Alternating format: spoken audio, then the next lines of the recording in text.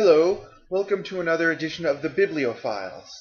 You know, the whole reviewing thing is, there are two facets to it. First is to inform people about stuff that you think is good, in the hopes that, that whatever it is you're talking about that you think is good will flourish and a lot of people will buy it and it'll make a lot of money. And to tell people about what you think is bad so people will stay away from that and whatever it is that you don't like will you know just go off and just get canceled or whatever. And uh, today I'm going to talk about a bad or what I thought was an example of a bad novel. Out of the Dark by David Weber. Oh, sounds it's a stupid name my opinion. You know, oh, why does this book suck? Well, let's get this started with spoilers. Um, it starts out in the um, 1415 or so. Um, alien scout ships are, are um, you know, scouting out the planet Earth to see if they can incorporate the planet in with their galactic hegemony, or hegemony, or whatever. Um, and um, they see the um, they come across the Battle of Agincourt, where you know, it was, um, the British forces face off against the French, and they're outnumbered like three to one, I think, and um, and they just come out victorious and all this. Um, but because they can't keep any prisoners, they just kill everyone. And the aliens see this, and they are just you know horrified by what they see. And even though several of the, even members of the crew of this scout ship point out that, you know, this is a non-space faring society and obviously not, the, the entire planet isn't united under one flag like most of the other planets in this, uh, in their little hegemony are. They the captain just ignores it all and just slates the entire species for complete destruction. Okay. And I'm just thinking, watching this thing, like, really? You know, you're upset about how the humans aren't taking any prisoners, or not really all the humans, just um, the British aren't taking any French prisoners. So you just decide to wipe out the entire species Everyone? Really? Like you, you, they don't even bother um, talking about or looking at any other any any, any cities like uh, Paris or England or anywhere. They just see this one little battle and decide to wipe out all of the human race. And then they just leave, you know. And then uh, flash forward like 600 or so years later to present day, and they send one of their member species called the Shongairi or Shang or something. Uh, Shangyeri, yeah, whatever. Um, they're supposed to be like this warrior race, and um, oh, one thing is um, like somehow like um, the majority of the species of the galactic hegemony are either evolved from herbivores or omnivores. Um, I don't really get how, know, like, um, you know, if you're a carnivore or an omnivore, you know, you have to learn to be, um, you know, aware of your surroundings, be careful of being downwind, be stealthy. You have to have a forward-facing eyes for binocular vision yeah, learn to travel in packs and coordinate, strategize on how to take down food. But you don't really get that with um, herbivores. You know, they just occasionally come out in large numbers, and then when a predator comes in, they all scatter and run away. Don't really, so don't really know how. is um. Anyway, um, like I said, goes to present day, and the Shongairi are supposed like the only race that evolved from carnivore-based species, and um, what is um, no anyway like um the the way they invade is actually smart because it's the way you'd expect aliens to invade. They set up their ships in orbit, then um,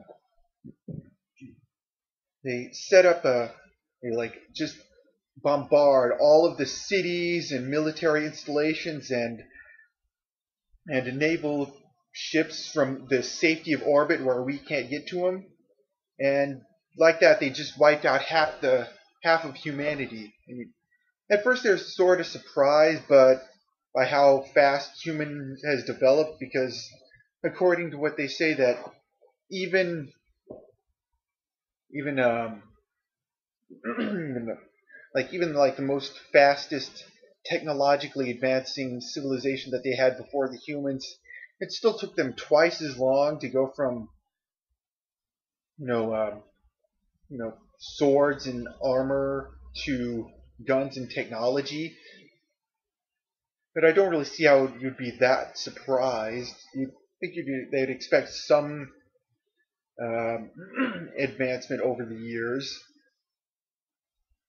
You know, anyway, um, they, uh, like I said, they wipe out like half the human race in like the first day of the conflict,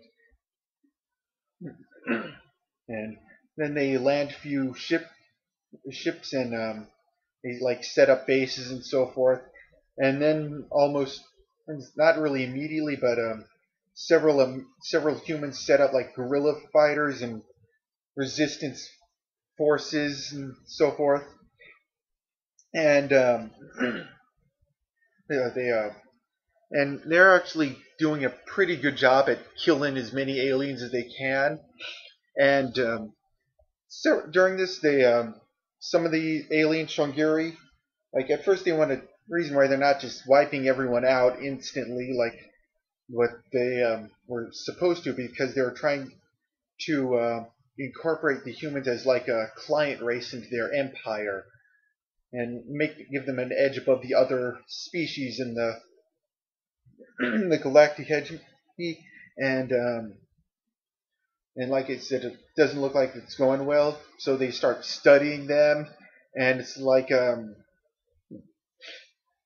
uh, like the, one of the things that they first come out with is is um, how you know like like how um, like humans will just uh, form packs and they'll like go out and search for if like one of their young is missing and um, well, like they'll bother like I'm just thinking like and how um, if a predator's going in, and then they'll all risk each other's lives to save the one person. And so I'm just thinking like really the big advantage is we have the power of caring about others. No other species has this. I mean, like, also the reason why the entire, uh, why they, why the scouts slated the entire species for destruction is because we're supposed to be like a bunch of uncaring monsters or whatever. So are humans uncaring, warmongering people, or are we, or aren't we? I mean, make up your mind.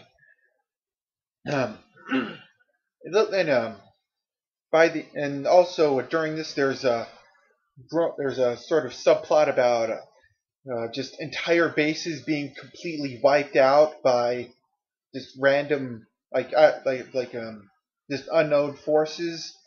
The first uh, the Shongairi general in charge thinks it's the um, yeah, I think it's like some other race that's sabotaging them to make them look bad or something. Uh, but um, yeah, like we'll just get into that later. Eventually, the the uh, resources and the loss of life combined with from the guerrilla fighters combined with this unknown force, you know, it's just getting to be too much. So they decide there's only one way to be sure, and they take off deciding that they're just going to wipe out the whole human race and just be done with it. And you know, I'm thinking like there aren't there ships already in orbit? Anyway, um, ships take off, and one by one, some of them just blow up for seemingly no reason. And then it is revealed who this unknown force is the people that have been wiping out entire bases. And you know who they are? You're, you're not going to guess, or you're not going to get it. Okay, I'll just like pause the video, put a comment in below, like who you think the bad guy is, then start playing the video, and I'll like tell you who the bad, who this unknown force that's been taking out the aliens is. Okay, okay, are you ready? Okay, it was vampires. Vampires, just out of nowhere, vampires. And Vlad Dracula, or Count Dracula, is the lead, the one leading the whole thing. You know, something like that's just out of nowhere. Vampires, really? and uh, yeah, vampires. They come in. They kill the last of the aliens as they're as of the Shongairi as they're retreating. You know, they take some of their ships and use them to like harvest asteroids or whatever, and then yeah, like so yeah, this is and then it just starts with the whole year one of the Terran Empire or whatever, and like the humans and the, the vampires are now like friends, and they go out and decide to go out to fight back against the galactic hegemony, and you know, and so like that's the end. So yeah, this book really sucks. And it's not because of the inherent bullshit that's in all, you know, space invasion, space alien invasion type stuff that ends with humans coming out as the victor as victorious because yeah, it kind of is um but there's just so much other stuff.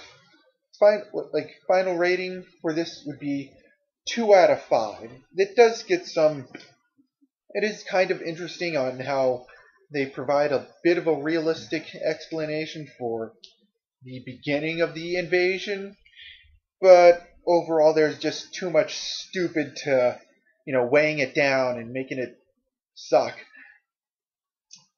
and and even though like the idea of you know uh, vampires fighting space aliens sounds like a really cool idea in my opinion, it was just I felt it was just like poorly handled. It's just a was, they just made it like a last minute twist thing.